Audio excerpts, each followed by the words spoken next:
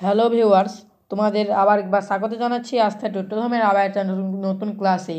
আজকে আমার ক্লাসটি হলো সপ্তম শ্রেণির ছাত্রছাত্রীদের জন্য এনভায়রনমেন্ট সায়েন্সের কিছু প্রশ্ন উত্তরগুলো, যেগুলো হচ্ছে ফাইভ সিক্স সেভেন এই তিনটে স্কুলের সমস্ত কোশ্চেন উত্তরগুলো। তোমাদের জন্য আমি নিয়ে এসেছি এই সমস্ত, এই স্কুলের সমস্ত শর্ট কোশ্চেন লং কোশ্চেন উত্তরগুলো, যেগুলো তোমাদের জন্য জানা খুবই গুরুত্বপূর্ণ। তাই তোমাদের বলব তোমরা ক্লাসটি সম্পূর্ণ দেখবে। যারা আমার চ্যানেলে নতুন এসেছ, তারা অবশ্যই আমার চ্যানেলটিকে সাবস্ক্রাইব করে পাশে থাকা বেল বাটনটিকে অল করে দেবে। দেওয়া আছে পাঁচ নম্বর school, Bardhaman municipal high school, physical science. একের দাগে সঠিক উত্তরটি নির্বাচন করো। আই দাগে ধনাত্মক আধানযুক্ত আয়নকে বলা হয় প্রোটন। দ্বিতীয় প্রশ্ন, বরফ গলনে লিনতাপ আশি ক্যালোরি পার গ্রাম।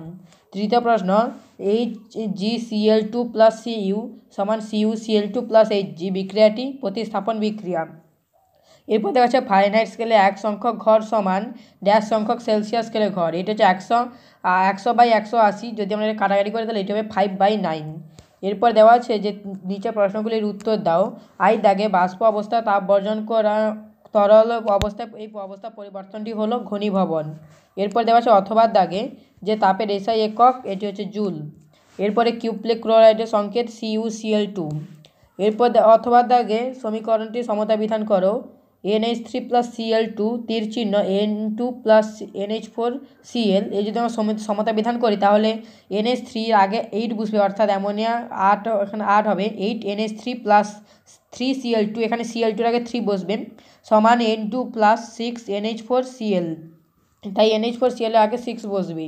এরপর দেওয়া হচ্ছে তিনের দাগে সঠিক উত্তরটি নির্বাচন করো। আই দাগে মাটির কলসির জল ঠান্ডা থাকে কেন? এটি হচ্ছে যে মাটির কলসিতে জল রাখলে ওই ছিদ্র জল বাষ্পীভূত হতে থাকে এবং বাষ্পীভবনের ফলে খানিকটা লিন তাপ কলসির জল থেকে বেরিয়ে যায়। সাধারণত পঁয়ত্রিশ ডিগ্রি সেন্টিগ্রেড তাপমাত্রায় প্রতি গ্রাম জলে বাষ্পীভবনের লিন তাপ পাঁচশো সাতাত্তর দশমিক পাঁচ ক্যালোরি তাপ কল, তাপ কলসি থেকে বেরিয়ে যায়। এই যে অংশটা, এই অংশটা তোমাদের এক্সট্রা দেওয়া আছে, এটা তোমাদের জানলেও চলবে, না জানলেও চলবে। এই কারণে মাটির কলসির জল ঠান্ডা থাকে। এরপর দেওয়া আছে, অথবা দেখে মাইনাস চল্লিশ ডিগ্রি সেন্টিগ্রেড কত ডিগ্রি ফারেনহাইটের সমান তা গণনা করো। এটা হচ্ছে মাইনাস চল্লিশ ডিগ্রি ফারেনহাইট কীভাবে তো এখানে অঙ্কটাও করে দেওয়া আছে। যে সি বাই ফাইভ মানে আমরা এখানে সির জায়গায় মাইনাস চল্লিশ বসাতে পারি, তাই মাইনাস চল্লিশ বাই ফাইভ সমান এফ মাইনাস বত্রিশ বাই নাইন মাইনাস চল্লিশ বাই ফাইভ যদি করে, তাহলে হবে মাইনাস এইট সমান এফ মাইনাস বত্রিশ বাই নাইন যদি আমরা করি তাহলে এটা হবে এফ মাইনাস বত্রিশ সমান, এখানে কণাকণি যদি গুণ করি তাহলে নষ্টে বাহাত্তর মাইনাস বাহাত্তর, তাহলে এফ সমান মাইনাস বাহাত্তর প্লাস বত্রিশ, যদি আমরা বিয়োগ করি তাহলে এটা হবে এফ সমান মাইনাস চল্লিশ ডিগ্রি। এরপর দেওয়া আছে যে কী ঘটে তার সমীকরণ সহ লিখো, পরিষ্কার লোহার ছুরি তুতে জলে দ্রবণে ডুবিয়ে রাখা হলো। এটা বিক্রিয়াটা হচ্ছে Fe plus U SO four সমান Fe SO four plus U অর্থাৎ লোহার ছুরির ওপর তুতে লোহার ছুরিকে তুতে দ্রবণে ডুবিয়ে রাখলে ছুরিটির উপর বাদামি বর্ণে আস্তরণ পড়বে। এরপর দেওয়া আছে যে এন আয়নের গঠনের ছবি অঙ্কন করো। এখানে ছবিটা এঁকে দেওয়া সম্ভব নয়, এটা তোমাদের যে কোনো বইতে এঁকে দেওয়া আছে, তোমরা সেখান থেকে দেখে নিতে পারো। এরপর দেওয়া আছে লাইফ সায়েন্স একের দাগে সঠিক উত্তরটি নির্বাচন করো। আই দাগে বাতাস থেকে গৃহীত গৃহীত ড্যাশ গ্লুকোজ থেকে ড্যাশ মুক্ত করে। এটি হচ্ছে বাতাস থেকে গৃহীত অক্সিজেন গ্লুকোজ থেকে শক্তি মুক্ত করতে সাহায্য করে। এরপর দেওয়া আছে, মাংসপেশিতে কোন ধরনের প্রোটিন থাকে? এটি হচ্ছে অ্যাক্টিনোমায়োসিন এরপর দেওয়া আছে আমাদের দেহে কোন খাদ্য উপাদান থেকে শক্তি পাওয়া যায় না। এটি হচ্ছে ভিটামিন। এরপর দেওয়া আছে ম্যারাসমাসের কারণ লিখো এটি হচ্ছে প্রোটিন ও শক্তির অভাব। এরপর দেওয়া আছে কোন খনিজ লবণ মস্তিষ্কের গঠন ও রক্তের শর্করা পরিমাণ ঠিক রাখে। এটি হচ্ছে জিঙ্ক। এরপর দেওয়া আছে দুয়ের দাগে একটি বাক্যে উত্তর দাও, যে কোনো তিনটি। আই দাগে প্রোটিনের দুটি গুরুত্ব লিখুন। এই প্রশ্নের উত্তরটি এখনও পর্যন্ত জানা নেই। যদি জানতে পারে, অবশ্যই তোমাদের কমেন্ট করে জানাব। এরপর দেওয়া আছে ষষ্ঠ প্রশ্ন, চক, Chakdaha Ramlal academy, physical science. একে দাগে সঠিক উত্তরটি নির্বাচন করো। আই দাগে উষ্ণতা মাপার যন্ত্র, থার্মোমিটার। এরপর দেওয়া আছে একটি প্রাকৃতিক খাদ্যের নাম, এটি হচ্ছে আনারস। এরপর দেওয়া আছে নিস্তরিত অবস্থায় পরমাণুতে ইলেকট্রন ও প্রোটনের সংখ্যা, এটি হচ্ছে সমান। এরপর দেওয়া আছে কোনো মূল্যে পারমাণবিক ক্রমাঙ্ক বারো হলে বা পরমাণু ক্রমাঙ্ক বারো হলে প্রোটন সংখ্যা, এটি হচ্ছে বারো। এরপর দেওয়া আছে ভিটামিন এর উৎস, অপশান সি গাজর। এরপর কোলাজেন প্রোটিন থাকে ও স্থিতি। এরপর দুটি বস্তুকে সমান পরিমাণ তাপ থাকলে অপশান সি, উষ্ণতা সমান নাও হতে পারে। এরপর দেওয়া আছে লিনতাপ পদার্থের অবস্থানান্তর ঘটায়। এইচ এনও থ্রিতে এনের যোজ্যতা, এটি হচ্ছে ফাইভ এরপর দেওয়া আছে দুয়ের দাগে নিম্নলিখিত প্রশ্নগুলির উত্তর দাও। আই দাগে শূন্যস্থান পূরণ করো, এক ক্যালোরি সমান ফোর পয়েন্ট টু জুল এরপর অথবা দাগে শূন্যস্থান পূরণ করো, এক সেলসিয়াস ডিগ্রির পরিবর্তন nine by five Fahrenheit degree পরিবর্তনের সমান। এরপর দেওয়া আছে ঠিক বা ভুল নির্বাচন করো, ক্লোরিনের চিহ্ন সংকেত একই, কথাটি ভুল। এরপর দেওয়া আছে একটি শূন্যযোজী মৌলের উদাহরণ দাও, এটি হচ্ছে হিলিয়াম। এরপর দেওয়া আছে যে কিসের অভাবে অ্যানিমিয়া রোগটি হয়, এটি হচ্ছে আয়রন। এরপর দেওয়া আছে অথবা দেখে সত্তর কেজি ওজনের মানুষের আনুমানিক জল কত লিটার থাকা উচিত? একজন মানুষের দেহে সত্তর পার্সেন্ট জল থাকে, এখানে সত্তর কেজি যেহেতু বলছি, তাই সত্তর ইন্টু সত্তর বাই একশো কাটাকাটি করলে এটি হবে ঊনপঞ্চাশ লিটার। এরপর দেওয়া আছে তিনের দাগে নিম্নলিখিত প্রশ্নগুলির উত্তর দাও, বিকল্প প্রশ্নগুলি লক্ষণীয়। এখানে বলেছে যে, অথবা দাগ এখানে প্রথমে একটা প্রশ্ন দেওয়া ছিল যে, দেহের উষ্ণতা বা তাপমাত্রা বেড়ে গেলে কী হয়? এই প্রশ্নের উত্তরটি হবে যে শ্বাসনালী শ্বাসনালীতে অর্থাৎ শ্বাস নেওয়া, শ্বাসক্রিয়া হারটা কমে যায়। তাছাড়া খাদ্যের খাদ্যের যে পরিমাণটা, অর্থাৎ যে পরিমাণ আমরা খাদ্য খাই, তার থেকে আরও অনেক কম পরিমাণ খাদ্য খাওয়া হয়। এরপর দেওয়া আছে, অথবা দেখে মাটির কলসের বা মাটির কলসির জল ধাতব পাত্রে রাখার তুলনায় ঠান্ডা থাকে কেন? এটি হচ্ছে মাটির কলসির জল, ওই ছিদ্র দিয়ে বাষ্পীভূত মাটির কলসিতে অসংখ্য ছিদ্র থাকে আর ওই ছিদ্র দিয়ে জল বাষ্পীভূত হতে থাকে আর বাষ্পীভবনের ফলে খানিকটা লিন তাপ মাটির কলসির জল থেকে সংগ্রহ করে আর এই অংশটা আগের অংশেও ছিল। এটা তোমাদের জানলেও চলবে, না জানলেও চলবে। এই কারণে মাটির কলসি থেকে জল, মাটির কলসিতে জল রাখলে এই জলটি ঠান্ডা থাকে। কারণ না যখন মাটির কলসি অসংখ্য ছিদ্র থাকে, সেই ছিদ্র থেকে জলগুলো বেরিয়ে আসে, সেই জলগুলো বাষ্পীভবন হয়। সেই বাষ্পীভবনের জন্য প্রয়োজন লিন তাপ, সেই মাটির কলসি থেকে সংগ্রহ করে। ফলে মাটির কলসির জল ঠান্ডা থাকে। এইটুকু তোমার জানলেই চলবে এরপর দেওয়া হচ্ছে যে বিয়োজন বিক্রিয়া কাকে বলে?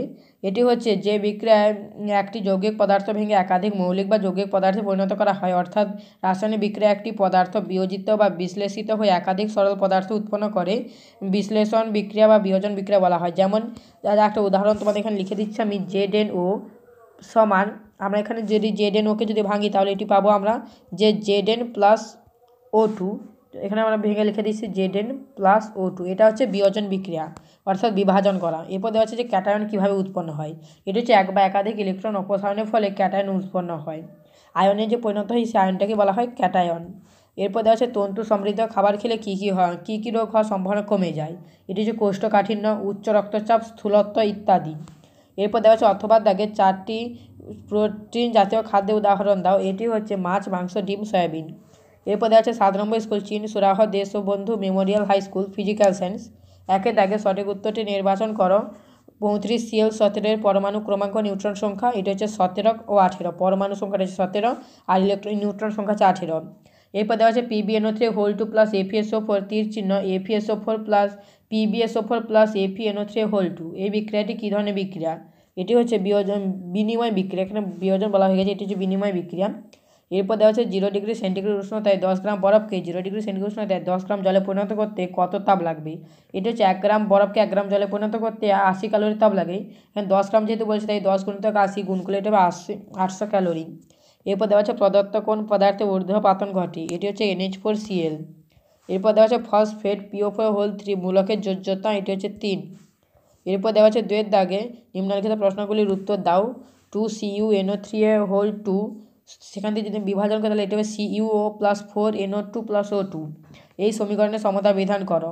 এটি, এটা যদি সমতা বিধান করে, তাহলে এখানে প্রথমে তো two C U N O three whole two এটা ঠিক আছে, ঠিক থাকবে। এরপর সিইউ যেটা আছে, সেটাও ঠিক আছে, এবং N O four N O two O plus O two এটাও ঠিক আছে। অর্থাৎ তোমাদের এখানে প্রশ্নটাই ভুল দেওয়া আছে। এখানে টু হবে না, আর এখানে ফোর হবে না। এই দুটো প্রশ্নের নয়, এখানে উত্তরই যোগ করতে হতো, কিন্তু এখানে প্রশ্নই যোগ করে দেওয়া আছে। এরপর দেওয়া আছে যে উষ্ণতা কোন মান সেলসিয়াস ও ফাইনাইট স্কেলে পাঠ সমান হয়। মাইনাস চল্লিশ ডিগ্রি সেন্টিগ্রেড, মাইনাস চল্লিশ ডিগ্রি ফারেনহাইট। এরপর দেওয়া আছে দুটি মৌল, Zn plus O Zn O O, যাদের যোজ্যতা হচ্ছে যথাক্রমে দুই ও দুই যৌগটি সরলীকৃত সংকেত হবে জেডেন ও। এরপর দেওয়া আছে লাইফ সায়েন্স একের দাগে সঠিক উত্তরটি নির্বাচন করো। কোন ভিটামিন দাঁত ও গঠন ঠিক রাখে? ভিটামিন ডি, মোমো, চাউমিন ইত্যাদি খাবারগুলোতে ক্ষতিকারক পদার্থ, আজিনা মোটো মিশ্রিত থাকে। এরপর দুয়ের দাগে ঠিক বা ভুল নির্বাচন করো। আই দাগে ক্লোরোফিল থাকার জন্য গাছে পাতার রং সবুজ হয়। কথাটি ঠিক।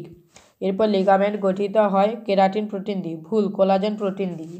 এরপর দেওয়া আছে তিনের দাগে নিম্নলিখিত প্রশ্নগুলি প্রশ্নগুলি যথাযথ উত্তর দাও। আই দাগে খাদ্যে প্রোটিন ও শক্তির অভাবে শিশুদের কী কী রোগ হয়? এটি হচ্ছে ম্যারাসমাস ও কোয়াশিওকল এই ছিল তোমাদের জন্য আজকে আমার ক্লাসটি।